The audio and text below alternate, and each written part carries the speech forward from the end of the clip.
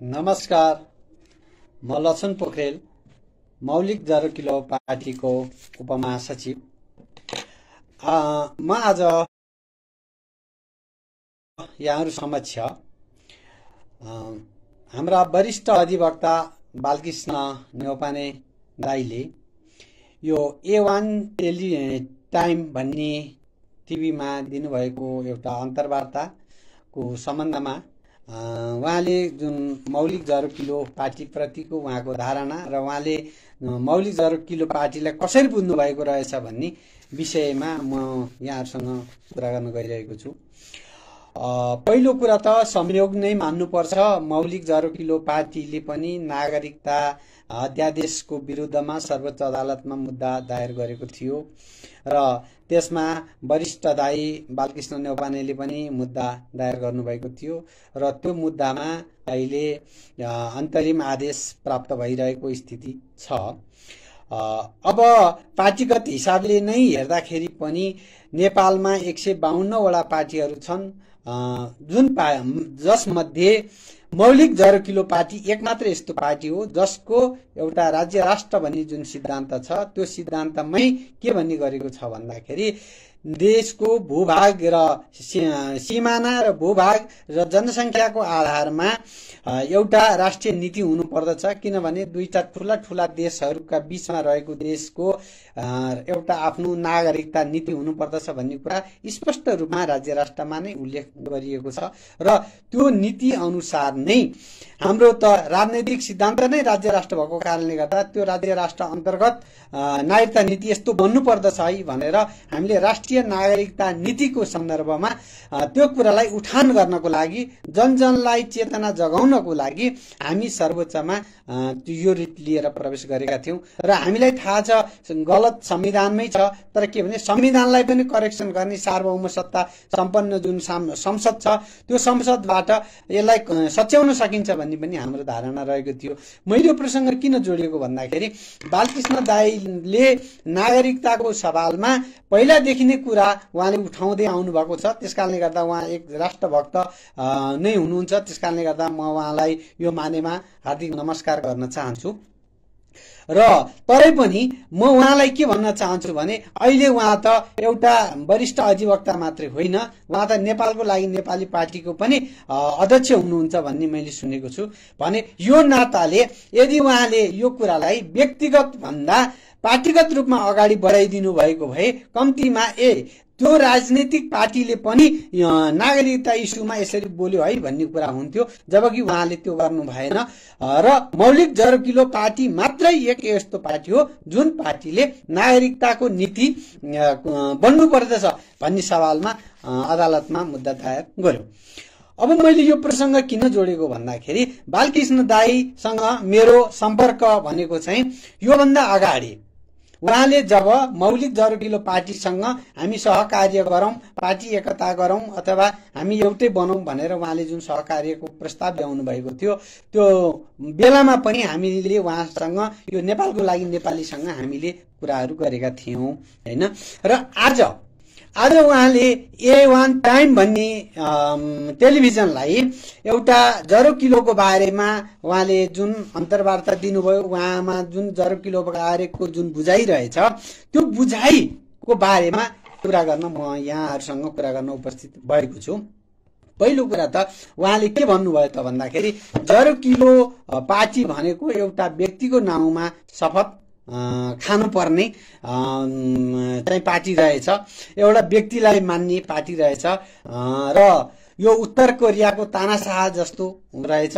र जरो किलो यसको कहाँ चाहिँ के हो भन्ने कुराहरू उहाँले जुन कुराहरू उठाउनु भयो त्यो कुराहरूलाई म कुरा केही त्यसबारेमा हाम्रो पार्टीमा के हो त साँच्चै नै हाम्रो युगद्रष्टा गुरु डाक्टर निर्मल मणि अधिकारीको नाउँमा शपथ खाने हो त?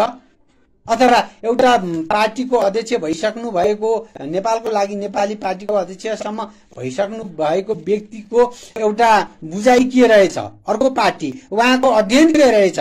भन्ने। किनभने कसैको पनि बारेमा अध्ययन गर्नु पर्दाखेरि त्यसको जानकारी राखेर बोल्दा मात्रै आफ्नो कद उच्चो हुन्छ नत्र भने त्यसले राम्रो गर्दैन। भने म त्यस कारणले गर्दाखेरि हामी मौलिक जरो किलो पार्टीमा लाग्ने व्यक्तिहरूले शपथ खाएका छौँ।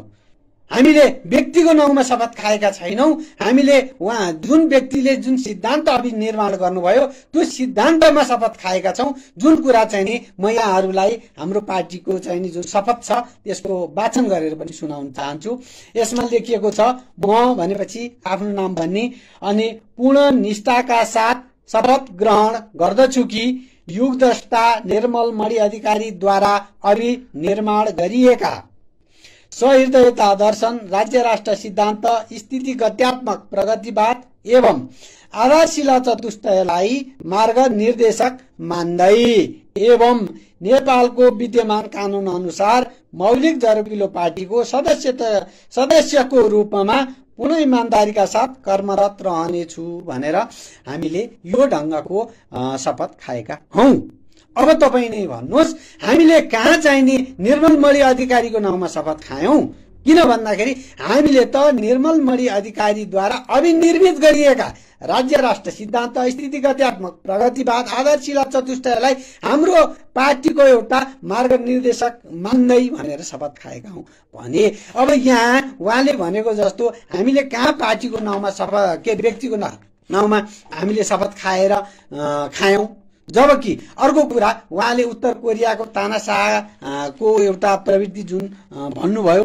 अब तपाईँ नै भन्नुहोस् जुन व्यक्तिले बिसौँ वर्ष लगाएर अध्ययन अनुसन्धान गरेर यतिका चाहिने सिद्धान्तवाद प्रतिमानहरू र आधारशिला तयार गरिदिइसक्नु भएको छ र जो व्यक्ति यी सबै कुराबाट पछि हटेर सम्पूर्ण कुरा हामीहरूलाई जिम्मा लाएर उहाँ नितान्त एउटा चाहिने गुरुको हिसाबमा हाम्रो त पद्धति के हो त भन्दाखेरि हामी त ऋषि सत्ता र राज सत्ता मान्नेवाला हौ। त्यस कारणले गर्दा गुरु कहिले पनि राजनीतिमा आउनुहुन्न। उहाँले त हामीलाई मार्ग निर्देशन गर्ने हो। भने हामी त यस्तो पद्धति अगालेर जुन अगाडि बढेका छौँ यसमा अब कसरी चाहिँ नि हाम्रो गुरु उत्तर कोरियाका तानाशाह हुन जानुभयो? अर्को कुरो उहाँले उठाउनु भएको छ जरो किलो कहाँ हो कहाँ छ के हो भन्ने जुन कुरा उहाँले गर्नुभयो। हामी त हाम्रो जरो किलो नेपालमै भए जरो किलो भएको पार्टी हौ। किन भन्दाखेरि हामी त हाम्रो हेर्नुहोस् वैदिक जुन दर्शन छ बौद्ध बौन जैन किराँत सनातनी जुन धर्म छ यसलाई आधार मानेर अगाडि बढेका छौँ। जबकि उहाँले त एउटा फर सजेक्सन भनेर अहिले एउटा प्रस्ताव राख्नु भएको छ शपथकै होला सायद त्यो ढाँचा उहाँले। उहाँकोमा त के छ भन्दाखेरि इस्लामदेखि लिएर हरेक धर्मको पनि संयोजन गर्नु भएको छ। जबकि हाम्रो वैदिक त त्यो होइन नि। हाम्रो त हाम्रो आफ्नो जुन मूल स्रोतको जुन वैदिक धर्म संस्कार संस्कृतिहरू जुन छन् त्यसलाई हामीले आदर्श मान्ने हो। भने हामी त आफ्नो जुन संस्कार संस्कृति छ त्यसलाई अगाडि बढाउनु पर्छ भन्ने मानेमा हामी हिँडेका छौँ भने हाम्रो जरो किलो उहाँले खोतली होइन बरु उहाँको जरो किलो चाहिँ कहाँ रहेछ? हामीले त्यो कुरालाई हेर्न आवश्यक छ। अर्को कुरो उहाँले के उठाउनु भयो त भन्दाखेरि करणी र कथनी चाहिँ नि एउटै रहन्छ भनेर उहाँले जुन भन्नुभयो। म उहाँलाई चुनौती दिन चाहन्छु तपाईँले प्रश्न पारिदिनुहोस्। हाम्रा डकुमेन्ट्सहरू तपाईँ हेर्नुहोस् र भन्नुहोस्। तिमीहरूको भनाइ यो रहेछ गराइ यो रहेछ तिमीहरूको यो कुरो मिलेको छैन भनेर भन्नुहोस्। तर मैले व्यक्तिगत रूपमा उहाँहरूलाई यदि भन्नुपर्ने हो भने म के भन्न सक्छु त भन्दाखेरि नेपालको लागि नेपाली भनेर जुन उहाँहरूले अहिले खडा गर्नुभएको छ उहाँहरू त कस्तो भन्दाखेरि पेसाको कारणले गर्दाखेरि उहाँहरू वरिष्ठ अधिवक्ताहरू हुनुहुन्छ।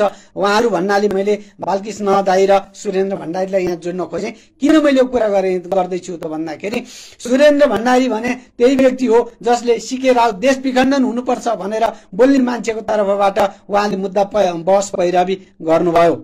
त्यसको प्रतिरक्षा गर्नुभयो उहाँको तर्फबाट लड्नुभयो भने बालकृष्ण राई त्यही मान्छे हो जो यो कपुतन्त्रीलाई सत्यानाश पार्नुपर्छ भनेर हामी हिँडिरहेको बखतमा उहाँ सडकबाट चाहिँ नि अ, स- सडकबाट चाहिँ नि सत्ता परिवर्तन गर्ने जुन कि एउटा कानुनको रीत अनुसार पनि नहुने कुरा सडकबाट चाहिँ सत्ता हाल्नुपर्छ भनेर चाहिँ यस्तो गैर जिम्मेवार कुरा गरेर हिँड्ने मान्छे यही संसद विघटनमा फेरि ओलीको तर्फबाट पनि उहाँ मुद्दा लड्नुभयो। उहाँहरूको नै बरु भनाइ र गराइ फरक छ किन भन्दाखेरि उहाँहरू के भन्नुहुन्छ भने कुरा गर्नु पर्यो राजनीतिको हिसाबमा कुरा गर्नु पर्यो एक थरी भन्नुहुन्छ र काम गर्नु पर्यो भने के भने हाम्रो त पेसा हो। हामीले त पक्षको काम गर्ने हो। पक्ष जेसुकै भए पनि जुनसुकै भए पनि त्यसको काम गर्ने भनेर भन्नुहुन्छ।